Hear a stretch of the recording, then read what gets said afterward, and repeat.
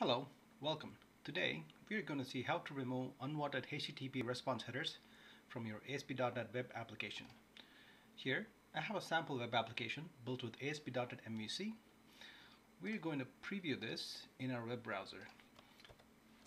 Now if we quickly go to our networks tab we can see all the assets that are being loaded from our IIS server and let's inspect the index file which is the home page we're viewing right now as you can see, under the response headers, we have a whole lot of headers information right here. Some headers like server, ASP.NET version, ASP.NET MVC version, powered by, expose unwanted information that could be used by hackers or people with malicious intent. So today we're going to see how to remove all these extra unwanted headers from being served to our clients. First, Let's start with removing the server response header from our web application. For this, we need to go to our web.config file and then under system.webserver we need to add a security request filtering remove server header to true once we set that, let's reload our application. And as you can see, we no longer have the server response header in the response.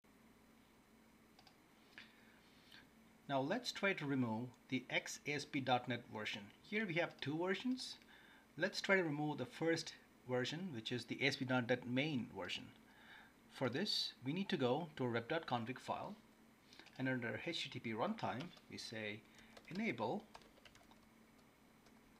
oops version header and set it to false. Now let's save and refresh.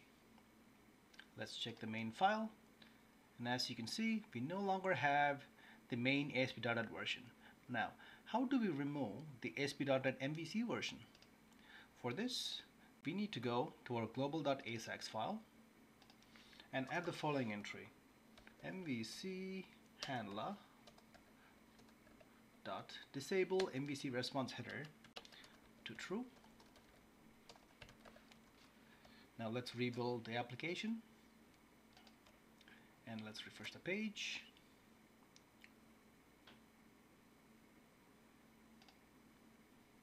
And as you can see we no longer have the XASP.NET MVC version now let's remove the last unwanted response header, which is X powered by. This header lists the type of web application framework we're using to power this web application. To remove this X powered by response header, we go to web config and under system.webserver we say HTTP protocol and then we add another tag custom headers and we basically clear all the custom headers. Now let's save, refresh. Now if we inspect the index headers, you can see the X powered by response header is no longer being served. Thank you for watching the video. Take care.